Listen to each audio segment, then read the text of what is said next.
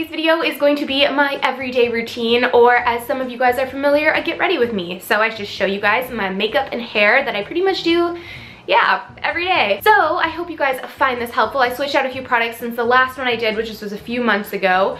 Um, so I thought hopefully you guys find this helpful. I'm all like flustered. But before we get into the video, I wanted to share a fun experience with you guys. I got to go on set with Revlon and sets are always so fun to go on for me because they're so different from like my setup. It's always just, you know, Patrick and I, but to go on something with like fancy lights, fancy cameras, awesome set, design and everything. It's just really fun. So I had a lot of fun with them. I got to film three videos, a flawless face, a smoky eye and contour and I got to use their new makeup brushes. I was introduced to them so that was really cool. I got to even take them home and now I get to play with them all the time which is really awesome. Um, so if you guys want to check out the videos that I filmed with them I will have a link in the description box below. But anyways I really hope you guys enjoy this video and let's get started. To begin, I applied some coconut oil to moisturize my face, and then I go right in with primer. I love using the Benefit POREfessional Primer. You guys know I've been using this stuff for a while. It smooths down my face really well.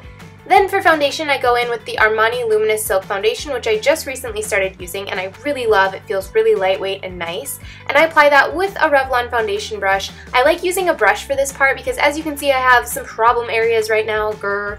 Um, but it helps kind of pack on that product and really get it to where you want it to be. And then I go in later and blend it out. So then I go in with a concealer and I take a concealer brush for this part because if you've ever used the IT Cosmetics Bye Bye Under Eye, you know how thick it is. So having a concealer brush to kind of go right up in the areas that you want it to go really helps you out. Then I go in with the Urban Decay Naked Concealer and I basically apply this wherever I have problem areas. The other concealer was mainly for under eye, so this helps kind of conceal all of the blemishes that I don't want to be shown. And then I go in with a beauty blender to just kind of pat that and press that into my skin for a very airbrush look. Like I said, I like using the beauty blender to do this and then the foundation brush to really apply and get the product everywhere I want it to go. Then I go in with the Revlon powder brush and I pick up some translucent powder. I like using the Laura Mercier one and I basically just spread that all over my face to give kind of a mattified look and set everything. Next up, I'm grabbing the contour brush and I'm picking up some bronzer. I've been using the Becca Cosmetics Bronzer Duo for a long time now. I love it. And I basically just use circular motions in the contour places of your face. So under the cheekbones, on your forehead, underneath your jawline, and on your nose if you want to.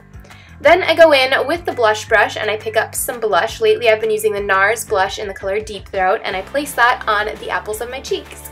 Now I grab the Kabuki brush and I pick up some highlighter. My holy grail highlighter is the Becca Cosmetics one. I just love it, but having this brush kind of packs on the highlighter exactly where I want to and it shows up really well.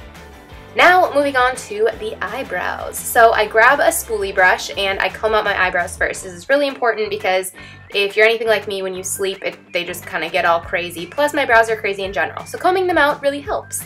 Then I go in with the Anastasia Brow Duo, and I basically go in with the wax one because I find that that really helps tame my hairs and really fills in into the places that I want to. And I basically start at the bottom of the brow first and then work my way upwards in small strokes. And then I cannot forget to brush it out afterwards. This just helps give it a more of a natural appearance. Moving on to my Holy Grail eyeshadow primer, which is by NARS. This stuff is awesome and doesn't make your shadows crease at all. And I'm going to pick up the All Over Shadow Brush and pick up colors from any Urban Decay palette, basically Naked palette. I will have the colors I use in the description box below. But I place that all over my lid and then I grab the crease brush and I pick up a matte brown. This is something I do every single day. The thing that'll change up is my eyeshadow base color. I'll either do a shimmery or a matte, but I will never not use a matte brown in my crease just because it blends so amazing. Then I go in with the eyeliner brush and I love this because I don't use eyeliner, I haven't in a really long time, and I just pick a darker color and place that on my lash line to make my eyes stand out.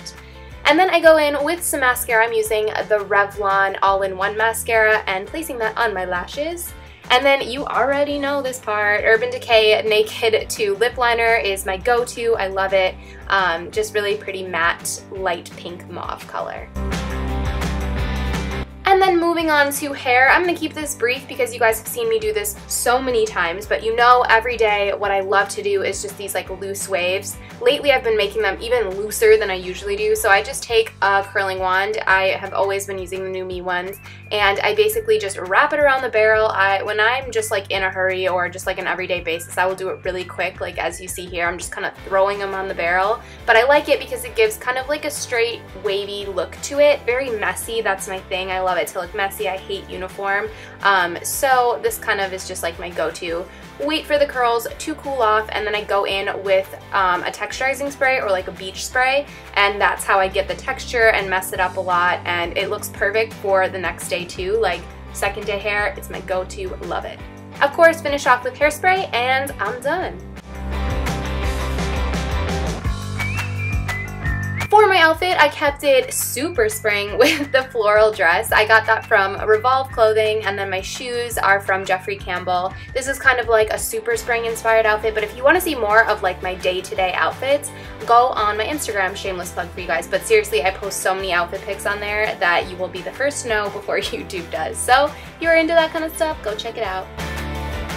That's my video for today. Thank you guys so much for watching. If you liked it, be sure to give it a thumbs up and let me know in the comments below what videos you guys want to see next. I will see you guys in my next video. Bye!